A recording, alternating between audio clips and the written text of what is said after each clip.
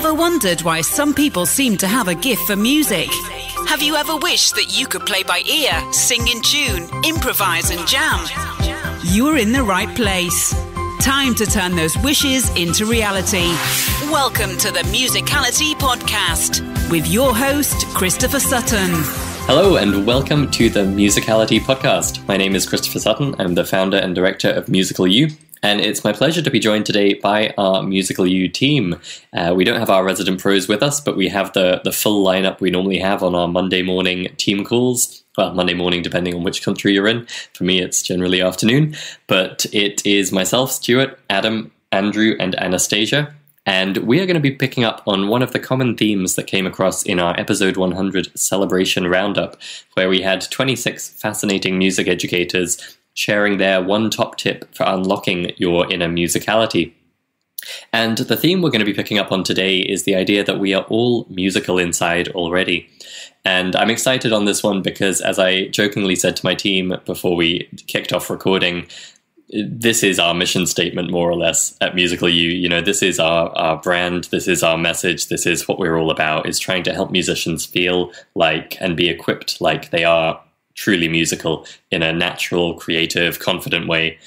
And so, of course, I was delighted when this came up with lots of our contributing guests. Um, we had Andrew, uh, sorry, Andy Wasserman talking about the musical gold inside you and how when you enjoy music you hear, it's because it's resonating with the music you have inside we had Bill Hilton, David Reed, and Forrest Kinney talking about how you can be creative from day one, and you have that inside you. Even if you don't yet have phenomenal instrument technique, you do have the ability to create and express. We had David Andrew Wiebe talking about specifically you already have musicality inside and you just need to tap into it. David Wollerman talked about how sometimes we need to put down our instrument to realize what we have inside and what we can express musically. And Jimmy Rotheram expressed the kind of Kodály philosophy, which is that we are all musical, we can all use our voice, we can all express musical ideas. And for him, that comes through in his work in inclusivity in school music and helping kids to all feel like they are musical, that they can sing, that they can take part in musical activities. So this is uh, kind of near and dear to our hearts at Musical U, and I'm excited to have the chance because you know we I think we all take it for granted at this stage, having been working in musicality training for one to ten years, depending on the team member. But it's rare that we sit down and actually really talk about it, except in the very specific way when we're developing new material. So, broadly speaking, why don't we kick off with Stuart? Uh, what does it mean to you, Stuart, this idea that we are all musical inside already? Well, I think all of us listen to music in some way. Um, and uh, I always like to think if you can listen to the radio, tap your foot, whistle along, hum along, you can do something musical. Um, and I don't, I don't think many people think like that. And uh, it, it's a shame, really. Um, and, I, and I got to know a little bit more about this and how deep it goes. I've written about it, but I also taught guitar. Uh, and it would always bum me out when I'd see people come in who, who were told for one reason or another you can't play guitar.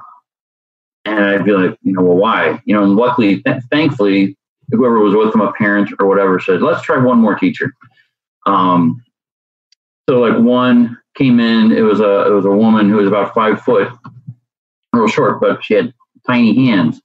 Uh, so the guitar her first instructor was like well your, your hands are too small to play guitar so you shouldn't play guitar so she kind of was about ready to give up so she came in and I talked to her and I said, Well, I said, let's move your hand around a little bit. Next thing you know, we, we were doing lessons for a few years and she could play. Her big goal was to play music with her kids, you know, so they could sing and she could play. And she was able to do that. But thankfully, she moved on. It was, it's kind of like not believing the lies that others will say.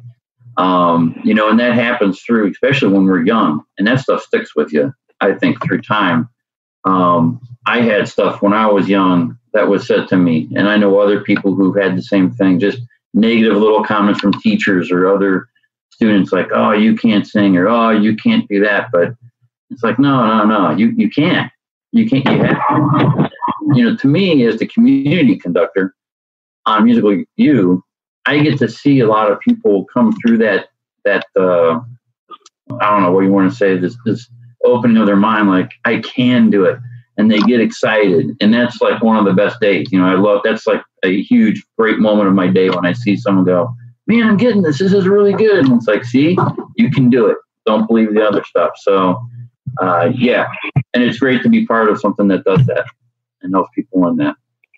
Nice. Yeah, I, I, think we all enjoy seeing that with members. And we've had for sure some dramatic cases where people come in and you almost wonder why they joined because they see, seem so determined to fail and so determined that they don't have what it takes.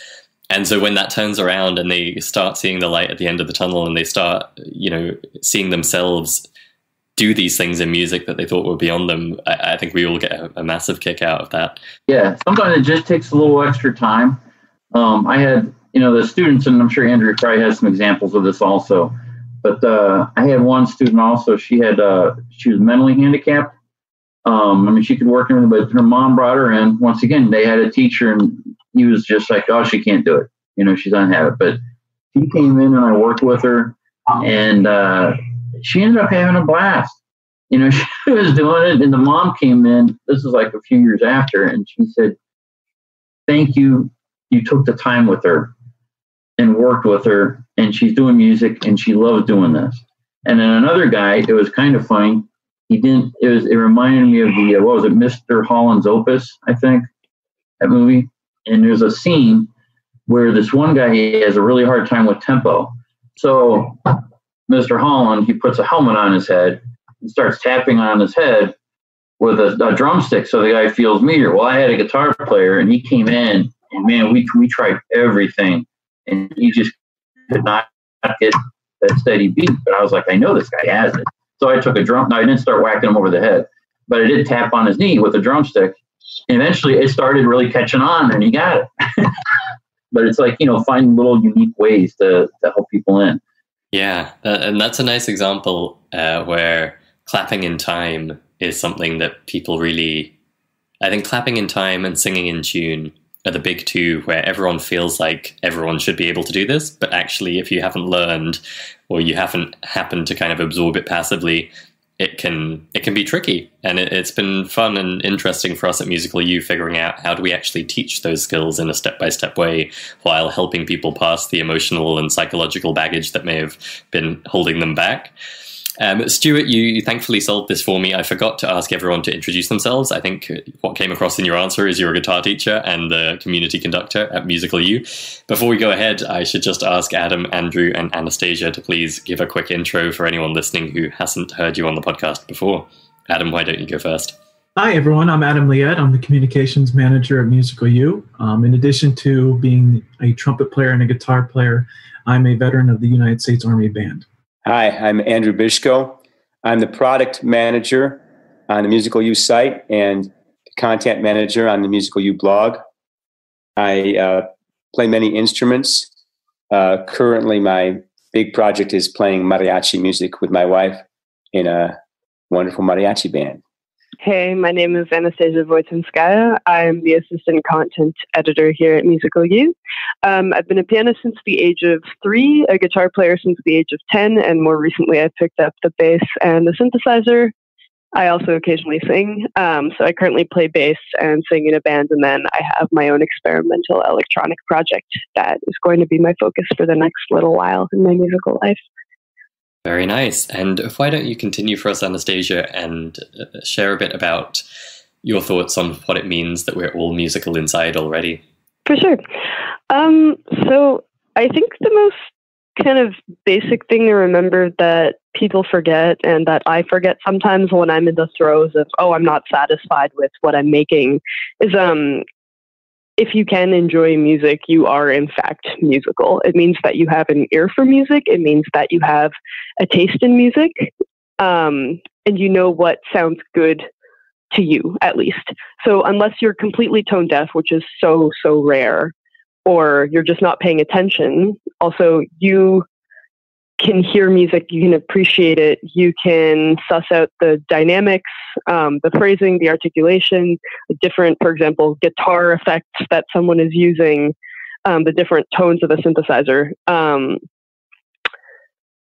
for example, just as an exercise, you could try active listening to some of your favorite music, and chances are uh, you're very capable of perceiving what about it you like, like what makes it musical. Um, is it kind of the melody? Is it the chord progression? Is it the way that it slows down and speeds up, for example? Um, and all of this to say, also, I think a core component of simply being human is also being musical because we are human and we do have feelings and they have to be expressed somehow and what better avenue to express them than through music right nice yeah and i i think there's a an important point there which i i try not to over egg because it is simplification but a lot of the kind of ear training stuff we talk about and train people on at musical u is fundamentally about equipping you with words and mental frameworks for things your ears are already doing. And yes, there are some skills where you need to go deep and really kind of get into the nitty gritty. But it's remarkable how often we have musicians join the members' website who've been playing music for 10 years and they feel like they have a terrible musical ear. And in just a few weeks, they can totally transform because actually they just lacked a few of these kind of mental structures or ways of thinking about what they were hearing or words to put on things that once you put those things in place, they realize, oh, actually, I, I, was understanding by ear what was going on. I just didn't have a way to grasp it. And so I, I think you're exactly right, Anastasia, that we can see in anyone who's enjoying music that they have some kind of musicality inside them. And, and so it must just be a matter of, of bringing that out. I find that for me, at least, like from a fairly young age, and I saw this in other people that are just starting out on their instruments. Like when we play naturally, we tend to play pretty musically. We don't sit there and plunk out note by note by note unless someone tells us to do so. So, for example, um, when I was taking piano lessons, uh, once I had learned everything, once I had gotten the notes under my fingers, once I'd gotten the technique down, once I was comfortable with the material, essentially, um, I wasn't playing robotically. I was playing pretty naturally. There were like some lulls.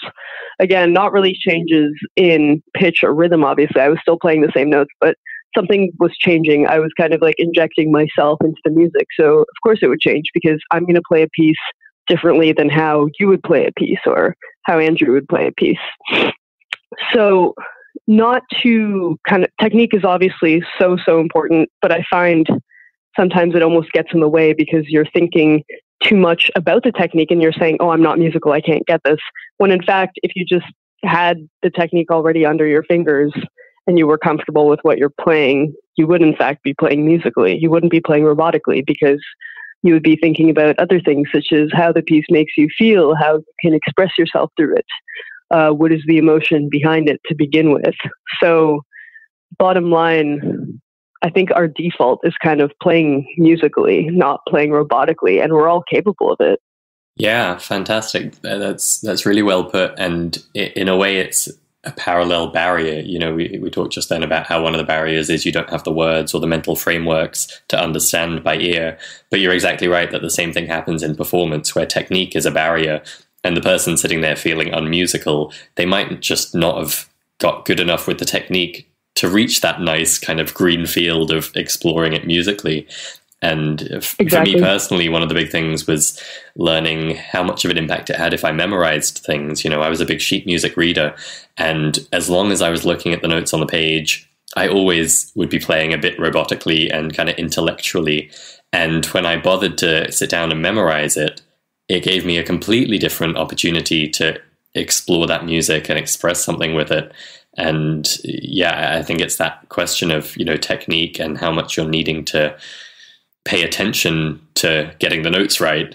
And once you move beyond that, you have the ability to let that musicality out. For sure, as your confidence increases, so does your musicality, really, obviously, because you're more comfortable. Yeah, it's a two way street, isn't it? You know, the more you put these skills under your belt, the more confident you are, and the more confident you are in them, the, the easier it is to to express something. How about you, Adam? How mm-hmm. how do you think about the subject of everyone being musical? You know, over the past hundred and some episodes of the Musicality podcast, there's these moments that just stick out in my head, and I keep a file of these great quotes. And one thing that Andy Wasserman said He said, I believe that every single person is already a musical master. Just don't know it. I mean, I just love that quote. And I think that speaks so much to what we do. And I really found that both as a performer and a teacher, we, we get shoved in this perception of well, this is music. What is music? It's just a very perhaps it's just a result of like modern music education or just a mindset of well now i'm making music whatever that means and i often wonder if we come in at music with that perception does it shut us off from these new exciting learning experiences as we explore this really wide world of music that's becoming more and more transparent and open to us with modern technology and i just really like to expand upon a very unique cir- circumstance that i had whilst i was serving overseas in afghanistan so I was a member of the 82nd Airborne Division Band, and in 2008 we got deployed to uh, Bagram Airfield, Afghanistan. And we had two jobs. The first job was just to play music. We played for soldiers, we played for dignitaries. I, I got to play for President Obama and uh, go, the governor of Texas. You know these, you know, you know really high-ranking people in our governments, which was cool. But we also had a job to train the Afghan National Army. That's actually what at the time was the biggest job of uh, ISAF was training the Afghans for to they could, you know, guard their own country. And the Afghan National Army has a band, much like Western armies do. And a big part of our job was to train their band. We did this both at their their equivalent of West Point, which is the American Military Academy in Kabul, Afghanistan, in addition, we would host them at our camp in Bagram Airfield. And I'm a bit shamed, ashamed to say, at the time, I really dreaded having to teach the Afghanis. Um, they just had no concept of Western tonality. They were playing on these instruments, Western instruments, trumpets, French horns, trombones, and the like, that they'd just been given by NATO in the past 18 months and so for the first time in their life, they're holding a clarinet and trying to make a sound. So they, they didn't even know how to play their own instruments, let alone any concept of John Philip Sousa, Henry Fillmore, Holst, Carl King, uh, all these, you know, very, very standard military march composers. I mean, we were even getting down to the root basics of reading Western notation. It was very, very painful to try to teach them even with translators. And then one night, what, what we typically did is on Friday nights, we would all get a bonfire going and we'd all sit out there drinking tea and, and smoking cigars. And the Afghanis came out of their tent. They heard us all talking and they, they just bring out this collection of just these ragtag, beat up old instruments. It, but it was their native instruments. It wasn't our Western instruments and they started playing just out there in the middle of nowhere. And I was completely blown away. I mean, all week long, we had struggled with these musicians, struggling with the mechanics and tonality and just basic musicianship of what we are trying to teach them. And they were moving effort, effortlessly throughout their songs, playing entirely by ear. This went on for over three hours. We st- stood outside there, just jaws dropped, listening to them play and eventually joining in. They weren't just jamming, they weren't just improvising, they were playing songs. And these were folk songs that have been passed down for generations. And those that weren't playing would sing, sing in Pashto, complete command of notes, rhythms, and the lyrics of their native songs. So they indeed had music inside of them, but we were approaching it from the wrong aspect and I think that that has so much to do with what, what Kodály taught of using the folk songs from your native tongue to begin to teach music. I think that really speaks to that, this very real experience and with adult musicians. And but as I grew, as I look back on it, what surprised me the most in all of this has to do in context with history, because these musicians had lived through the oppression of the Taliban, two decades where music was strictly forbidden and was punishable by either corporal punishment or death. Yet through all this oppression, music lived on. And even in the very youngest musicians who lived, who were born into this oppression, music found a way to reach through the generations into them. and that is just it continues to inspire me to this day because it is inside all of us and it's multi-generational. And i think part of our job as musicians is to continue to pass this wonderful gift of music to the next generation and to everyone indeed that we meet. Wow. Well, that's an amazing story. And I, I love it too as a an example or a symbol of tapping into your musicality. You know stuart touched on a, aspiring guitarist who'd been told her hands were too small. And uh, I think we've probably all encountered people who tried an instrument, struggled, and decided music wasn't for them. And the less common people who tried an instrument, struggled, tried another instrument, struggled, tried another instrument, found they loved it.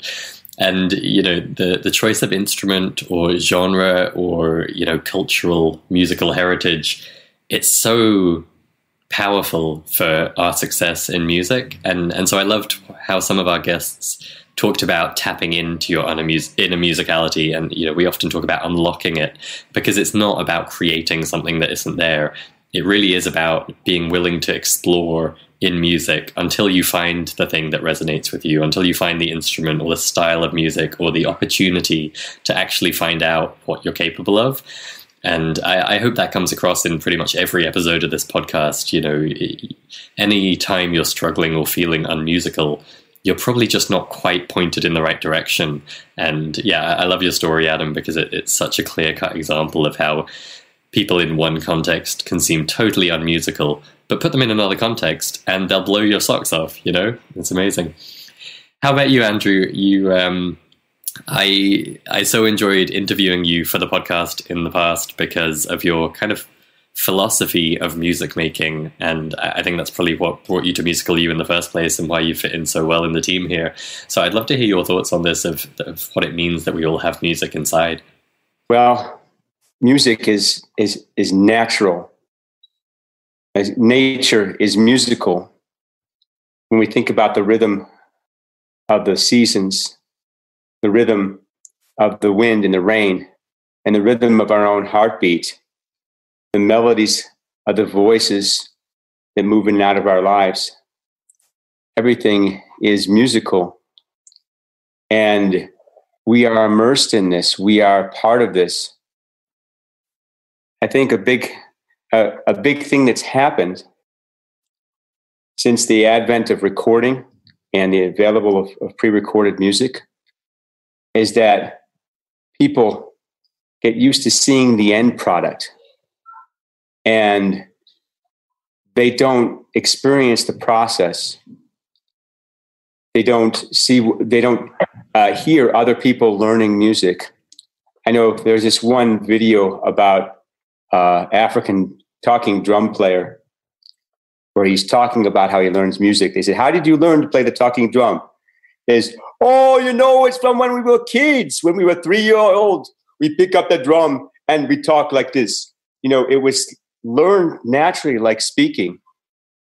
Uh, i remember when i was studying klezmer music and listening to uh, anecdotes about what it was like in the villages in eastern europe.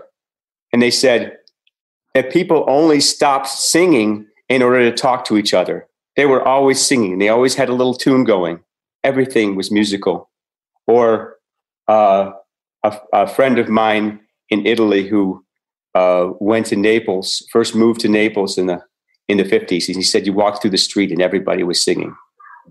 Sing song was flowing out of the the, the windows and the rooftops, and uh, the, the vendors were singing. Where music is a part of everybody's life, and so the learning process of being a child and allowing yourself to express musically is a natural part of your growing. My, I look at my own children and I see my children are musicians, they're sheep herders, they're dishwashers, they're mathematicians, they're scientists. There's not that segmentation. But in our society, we have this thing of specialists what are you going to be? You know, you ask a child, what do you want to be when you grow up? How could you segment that? Limit that, limit your possibilities. And so that disconnects us. And so we think, oh, well, that person's going to be a scientist. That person's going to be a musician. That person's going to be this, or that person's going to be that. And so we give up our innate musicality or we're talked out of it. So um, the truth about music is that it's always about the music. I have a master's degree in music, but I can listen to somebody who knows three chords and sings a song that they wrote and uh, with envy of their musicality and their expression. It doesn't matter how much education you have. It doesn't matter how many notes you, you can play. It doesn't matter how much training you have or what you can do. It's about the music. It's about the sound that's happening in the moment. So, uh, not to put all that other stuff down because it's wonderful, but uh, it's uh, it's it's part of our nature, and it, and and it's been it's uh, our with this culture of specialization we're separated from that.